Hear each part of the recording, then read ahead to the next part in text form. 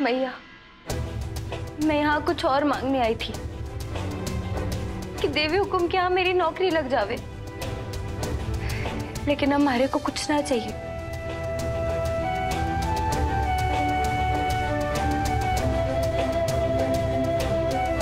हमारे बड़े हुकुम को ठीक कर दीजिए। हमारी नौकरी का जो भी होगा, वो देखा जाएगा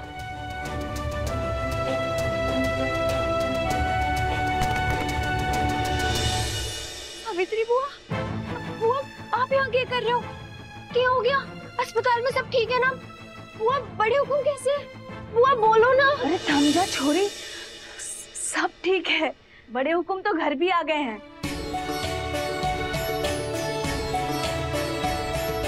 थैंक यू मैया। Thank you. चल चल मेरे साथ जल्दी चल। पर बुआ अरे तो सवाल बहुत करती है हो गया। रक्षा करना मैया।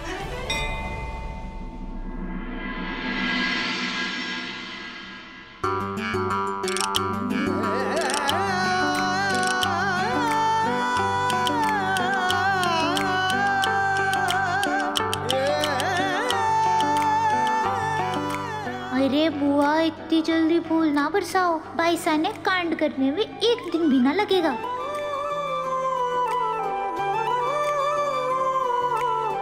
अरे, क्या हो गया? आप सब यहाँ क्या कर रहे हो? बुआ? क्या हो गया।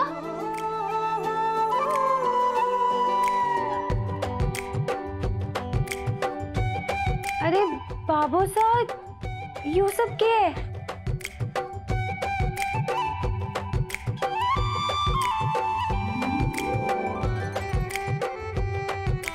अरे क्या हो गया?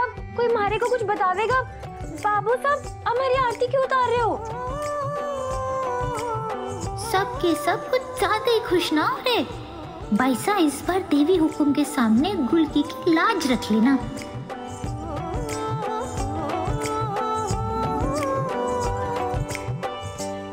अब बस बाबू साहब बहुत हो गया।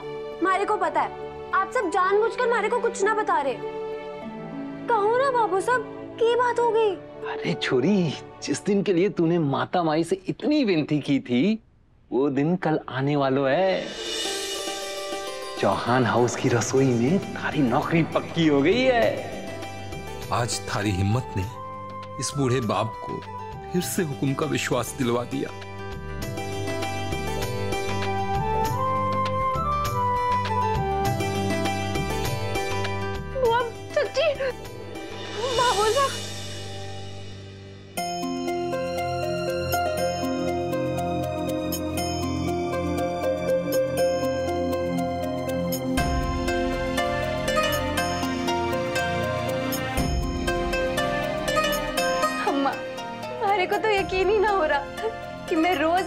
हाथों से देवी हुकुम को अच्छे अच्छे पकवान बना के खिलाऊँगी।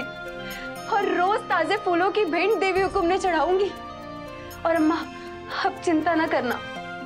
इस बार मैं देवी हुकुम और बाबू साहब दोनों को शिकायत का कोई मौका ना दूँगी। सच्ची।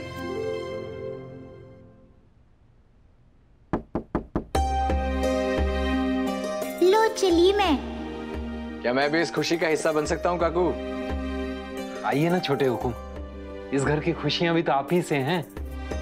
हम सब काम पर जाते हैं भाई साहब। हाँ। अच्छा भाई साहब। आइए ना जी। कंग्रेचुलेशन वसु। आखिर तुमने कर दिखाया। और आज हॉस्पिटल में जो कुछ भी है उसके लिए आई एम सॉरी अरे देव सर आप हमारे को क्यों सारी बोल रहे हैं? और वैसे भी आज तुम्हारा बचपन का सपना पूरा हुआ है। आज हमारे को किसी भी बात से कोई फ़र्क ना पड़े। ये रहे तुम्हारे कॉन्ट्रैक्ट के कागज़। सावित्री मासी से सब कुछ अच्छे से समझ लेना और फिर साइन करना। मासी आप सब समझा देंगे? जी। ये लो ठीक है मैं चलता हूँ। देव सर। एक मिनट।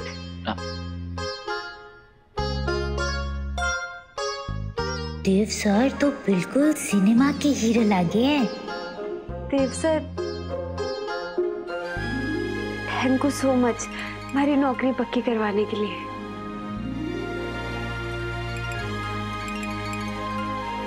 थैंक यू गुलकी की पैसा भी कोई हीरोइन से कम ना है दोनों साथ में कितने सुंदर लगे हैं।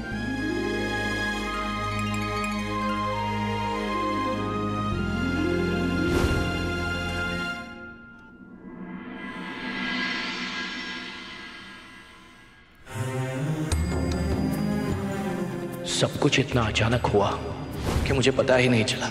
एक बार के लिए तो लगा कि ऊपर वाले का बुलावा आ गया है।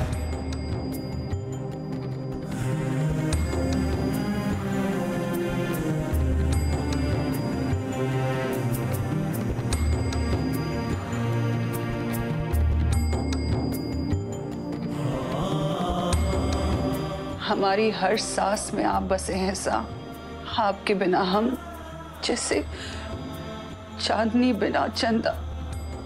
आप है तो हम हैं। आप नहीं तो हम कुछ भी नहीं।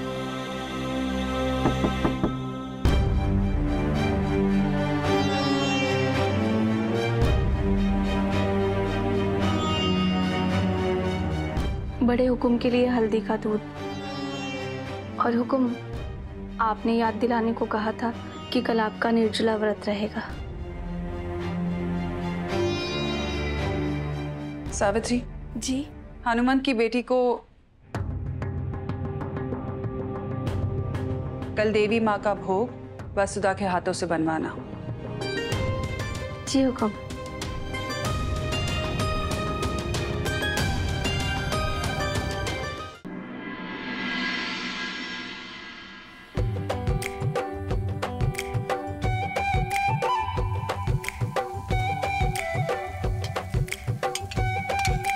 सवेरे सवेरे देवी हुकुम ने पानी गर्म करके दे दूँगी। फिर उनका चाय का टाइम हो जाएगा तो उनके लिए एक अच्छी सी अदरक और तुलसी वाली चाय बना दूँगी। और सावित्री बुआ ने तो मैं साफ़ साफ़ कह दूँगी कि, बुआ, आप कुर्सी पे बैठ के आराम करो। आपने बहुत काम संभाल लिया। अब हमारी बारी है। अच्छा भाई साहब, पूरी का इंतज़ार कर रहा हूँ।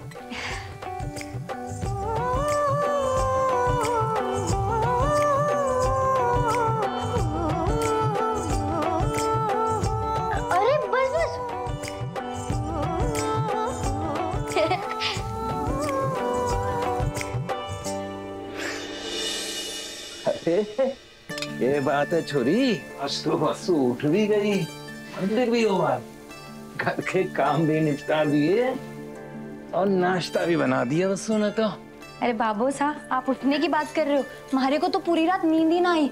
हमारे से तो इंतज़ार ही नहीं हो पा रहा था कि मैं कब देवी हुकुम ने अपने हाथ से पहला भोग बना के खिलाऊँगी। सारी हँसी को किसी की नज़र ना लगे वसु पर हाँ ध्यान रहे कोठी में सर नीचे। और ध्यान सिर्फ़ काम पर हैं? आज नवरात्रि का पहलो दिन है। कोठी में कलश की स्थापना होएगी। तो समझ ले कि अगले नौ दिन सब कुछ बहुत ही नियम कायदे कानून के साथ होएगा। हाँ। बाबू साहब आप बिल्कुल भी चिंता ना करो। इस बार हमारे से कोई गलती ना होगी हमारी गुलकी की सौ। अरे भाई साहब आप गुलकी की उम्र पर नज़र क्यों लगा रही हो? सबने पता है अब कुछ तो गड़बड़ करके ही आवेंगी।